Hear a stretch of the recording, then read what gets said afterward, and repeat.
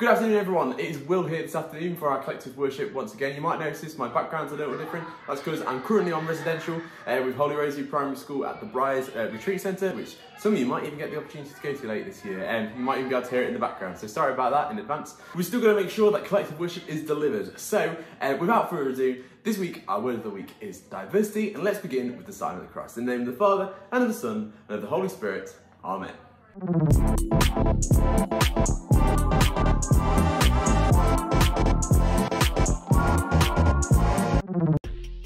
stuff. Now, over the last few weeks, we've looked a lot at all the different things uh, that unite us and bring us together. But actually, this week, we're going to celebrate what makes us a little bit different. Because as I said, our word of the week is diversity. So, quick fire question this week is write down all of the things that make you different. Off you go.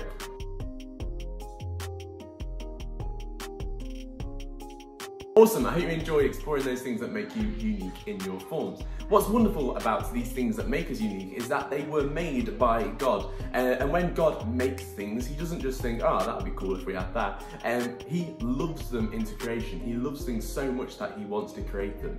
And that is exactly how we were all created. God loves us so much, he thought the world cannot be without this person. So when we look at this list in front of us of things that make us unique, it's important to remind ourselves that that um, is God and God's creation um, within us. And this week's piece of scripture, I think, can really remind us of that. So this week's reading is a reading from St. Paul's letter to the Colossians. For through him God created everything in heaven and on earth, the seen and unseen things, including spiritual powers, lords, rulers, and authorities. God created the whole universe through him and for him.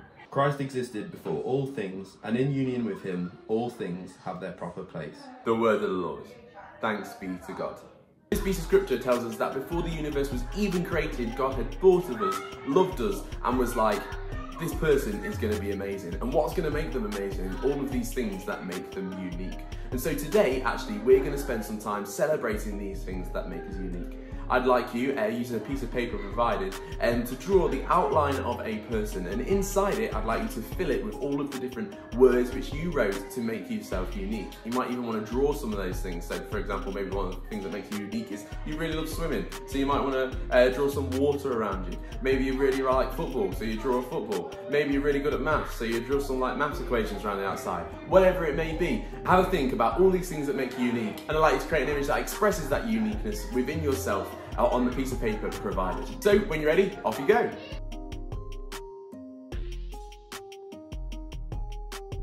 Wicked stuff. I hope you enjoyed um, making those pieces of art to express uh, your own uniqueness this afternoon. Of course, we're going to um, go into now a time of prayer, as we always do. And we're going to take a few moments now to prepare for that. So I encourage you to just be still, take a deep breath, acknowledge God's presence in the room, and just spend a few moments just chilling and preparing for prayer.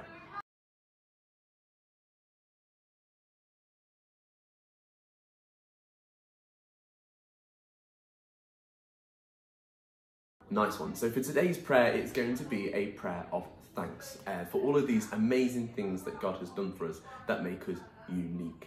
Um, what I would like you to do is look at the image in front of you and get your finger, and I'd like you to point to each of the individual things that you have done over the next 30 seconds or so. Take some time on each one, really think about what it is that you do in those moments and how God has given you gifts to make you unique at that. And just say a prayer of thanks. It just has to be as simple as thank you, God, for each one. So we're going to do that now.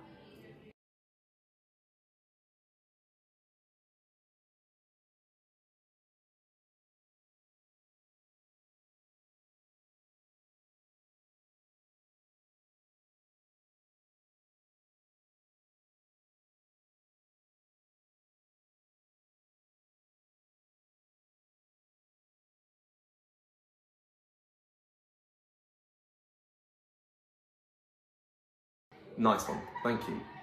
Now, what's wonderful about where we live, although by no means is it perfect, uh, we are very fortunate that we have a lot of opportunity to uh, share what makes us unique.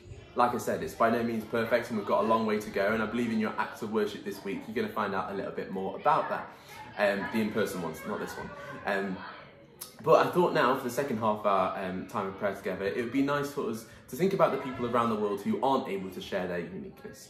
And in fact, I'd really love for this part of our prayer not to be so silent. So feel free to pop your hands up and share any intentions that you may have for people around the world who aren't able to share their diversity.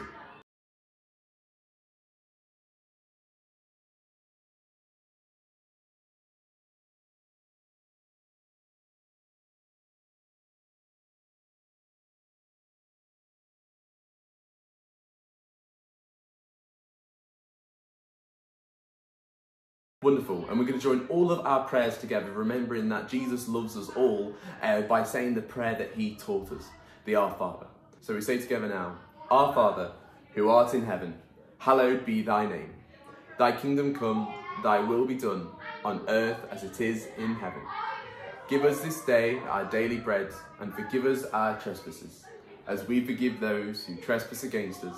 And lead us not into temptation, but deliver us from evil. Amen.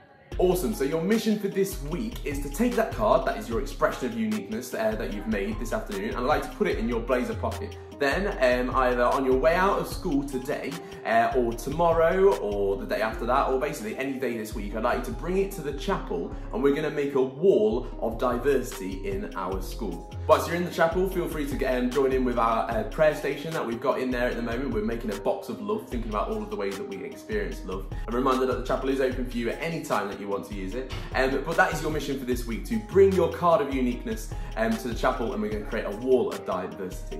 But for now, guys, I will see you around this week and have an amazing week. Let's end with the sign of the cross. In the name of the Father, and of the Son, and of the Holy Spirit. Amen.